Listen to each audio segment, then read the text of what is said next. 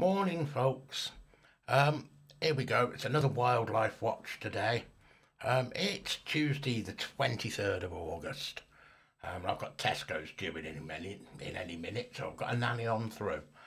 Um, starting off today, um, we've got some of Beth's photos of uh, red kites from Yorkshire um, last weekend at her mum's house. Uh, they're just stunning birds. I mean, they look though they should be really, really vicious, but they eat carrion, and they're bullied by pigeons and crows in Leeds. Um, they're becoming much, much more common in the UK. Um, Geddington, where my brother lives in Northamptonshire, there's hundreds of the damn things.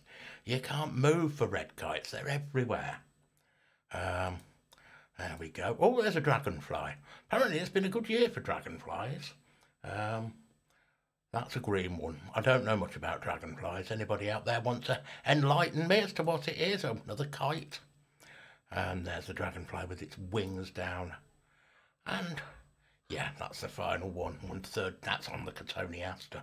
Every garden should have a cotoneaster. The berries are great for the birds in the autumn, and the flowers are brilliant for the bees in spring and summer.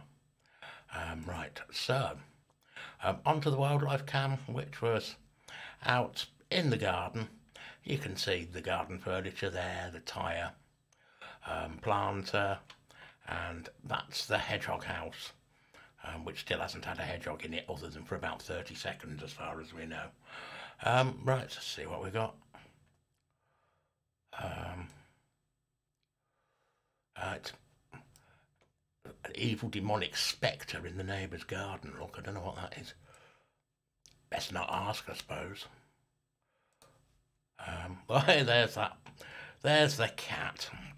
That's the cat we see most of at the moment. Um, the ocelot. I do. I, I, did know the proper name for that sort of marking, but um, probably winged tabby or something unoriginal like that. Um, uh, it's still there. What's that? It's probably a mirth, and the yeah, the cat is climbing the hedgehog house. Skills, cat. Go on, up we go. That's it. I've embarrassed it out of it. No, I haven't. It's going up. I mean, I don't know why, but there we go. Um, I noticed yesterday that the roof was off the hedgehog house, and I'm starting to wonder if I might have found the culprit. Look at the blooming great horrible thing. There we go I wonder if we're going to get any wildlife tonight. I mean, then there it goes. Do I publish the video if I get no wildlife? Just to show that some nights wildlife cameras are not as rewarding. I mean, that really is quite sinister, that, isn't it? Oh. oh, I shouldn't have done that yet, but there's the ocelot again. Let's go back. We're about halfway through, weren't we? I was oohing at the spec, so there we go. Nothing else to miss, so I could have done that and got away with it. I think that's a different cat. A stripier cat altogether and quite a bit more tatty. Um, what's the time? It's ten past ten. And it's still 17 degrees. Um, half past ten, still holding at 17 degrees. Um, half past ten. Oh dear. Oh, there we go. We've got a little. Is that one of the little cubs? Yeah, that's one of the little cubby foxes. It's gone on to the um, sniffing the hedgehog house where the cat's just been. So it looks like the cat might have left us a present on top of the hedgehog house. Foxy's gone anyway. Hear the car in the distance, or a car in the distance. Sometimes you hear the M53. That's a treat. There you go. There's another cow. Oh, hedgehog. There he goes. Snuffling across.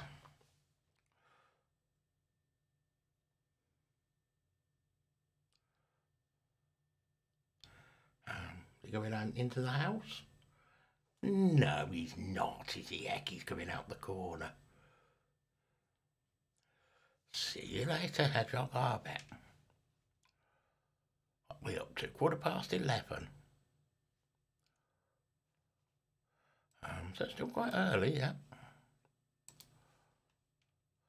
Oh, it's got misty. Quarter past one. It's down to 16 degrees. There was a, there was a fox there, look.